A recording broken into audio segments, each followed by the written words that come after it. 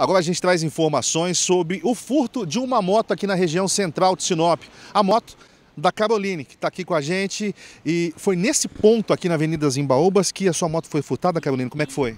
Isso, estava estacionada bem aqui no canto assim, e o cara simplesmente pegou, chegou, né, empurrou ela para frente, destrancou porque ele arrombou, né, o onde enfia a chave, foi até na frente da clínica para ver se eu estava lá dentro, né, e voltou para trás. Agora eu não sei se ele estava aguardando e ele foi em direção só a minha, tinha outras, mas você estava aqui na clínica? Você trabalha na região aqui? Eu trabalho na escola e eu estava aqui na clínica. Eu vim ver minha mãe que estava aqui. Entrou e quando voltou? A moto não estava mais aqui.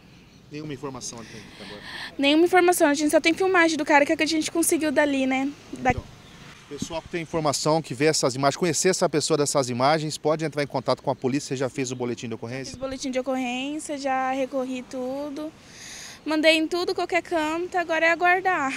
E agora, Carolina? a Deus. Como é que tá pra andar nesse Sinop, né, sem a moto? o coração chega a batida.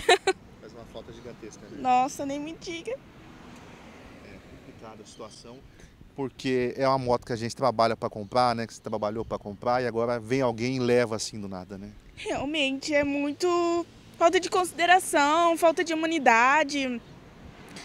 Não tem explicação para uma pessoa fazer isso, né? Aguardar e tomar que apareça. Amém.